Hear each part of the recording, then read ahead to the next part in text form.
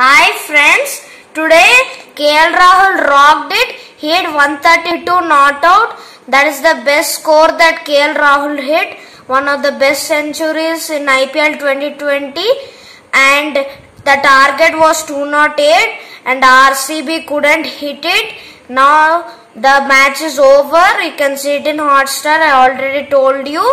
Now it, now they lost and it was a very bad match and it was so exciting that that Cottrell he did a lot. He scored lots of wickets and uh, lots of people. M Ashwin. There's a lot of good players in K in Kings Eleven Punjab.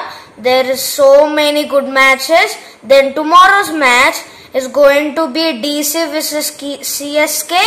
It is going to be one more match of CSK, the third match. So you can see it in. I told you already. You liked all of the IPL videos that I that I uploaded. My opinion is CSK will win. So that's it for my video. Make sure to like and subscribe. Bye.